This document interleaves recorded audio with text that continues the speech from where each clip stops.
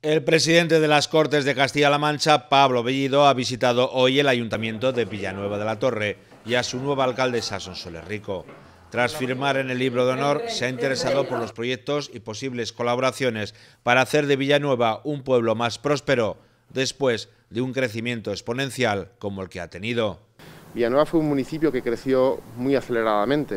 Yo soy del pueblo de al lado y lo conozco personalmente bien.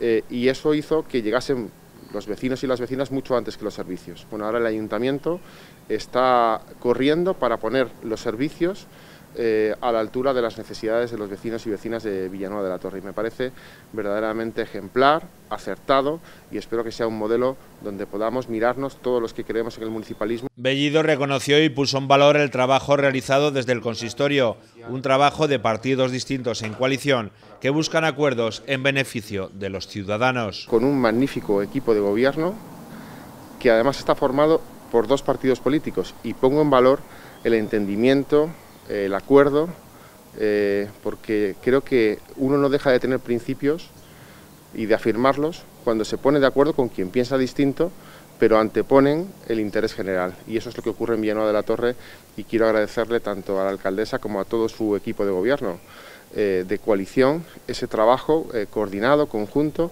donde se pone por delante los intereses de la ciudadanía, de los vecinos y vecinas de Villanueva, a los intereses particulares de los partidos políticos.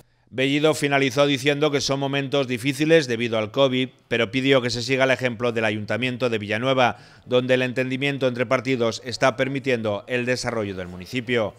Por su parte, la alcaldesa agradeció a Pablo Bellido su visita y nos aseguró que este año y a principios del siguiente comenzarán a notarse las nuevas mejoras. Hay cosas que se empezarán a hacer en breve y que, podrán estar empezándose a final de, este año, o sea, ya, y otras, bueno, pues poco a poco iremos las licitaciones llevándolas adelante y se hará más o menos para quizás empezar el primer trimestre del 2020, con lo cual creo que se ha hecho, se ha hecho un gran trabajo.